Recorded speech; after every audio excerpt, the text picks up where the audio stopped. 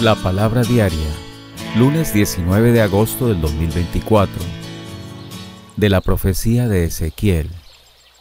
Me fue dirigida esta palabra del Señor, Hijo de hombre, voy a arrebatarte el encanto de tus ojos, pero tú no entones una lamentación, no hagas duelo, no llores, no derrames lágrimas. Suspira en silencio, no hagas ningún rito fúnebre Ponte el turbante y cálzate las sandalias, no te cubras la barba ni comas el pan del duelo. Yo había hablado a la gente por la mañana y por la tarde murió mi mujer. Al día siguiente hice lo que se me había ordenado. Entonces me dijo la gente, ¿quieres explicarnos qué significa lo que estás haciendo? Les respondí, he recibido esta palabra del Señor. Di a la casa de Israel, esto dice el Señor Dios, Voy a profanar mi santuario, el baluarte del que estáis orgullosos, encanto de vuestros ojos, esperanza de vuestra vida. Los hijos e hijas que deshasteis en Jerusalén caerán a espada. Entonces haréis lo que yo he hecho, no os cubriréis la barba, ni comeréis el pan del duelo. Seguiréis con el turbante en la cabeza y las sandalias en los pies.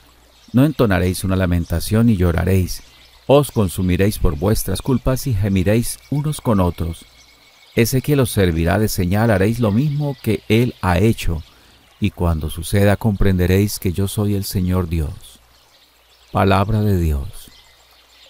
Despreciaste a la roca que te engendró. Despreciaste la roca que te engendró y olvidaste al Dios que te dio a luz. Lo vio el Señor e irritado rechazó a sus hijos e hijas.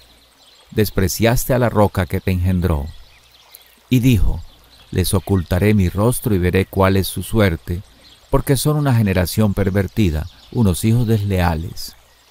Despreciaste a la roca que te engendró. Del Santo Evangelio según San Mateo. En aquel tiempo se acercó uno a Jesús y le preguntó, Maestro, ¿qué tengo que hacer de bueno para obtener la vida eterna? Jesús le contestó, ¿por qué me preguntas qué es bueno? Uno solo es bueno. Mira, si quieres entrar en la vida, guarda los mandamientos. Él les preguntó, ¿cuáles? Jesús le contestó, no matarás, no cometerás adulterio, no robarás, no darás falso testimonio, honra a tu padre y a tu madre, y ama a tu prójimo como a ti mismo. El joven le dijo, Todo eso lo he cumplido, ¿qué me falta? Jesús le contestó, si quieres ser perfecto, anda, vende tus bienes, da el dinero a los pobres, así tendrás un tesoro en el cielo, y luego ven y sígueme. Al oír esto el joven se fue triste porque era muy rico. Palabra del Señor. Jesús no rehuye la respuesta y se lo explicita.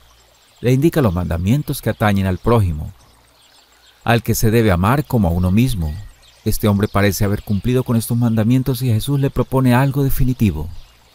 Si quieres ser perfecto, vende lo que tienes, dale el dinero a los pobres. Tendrás un tesoro en el cielo y luego vendrás conmigo.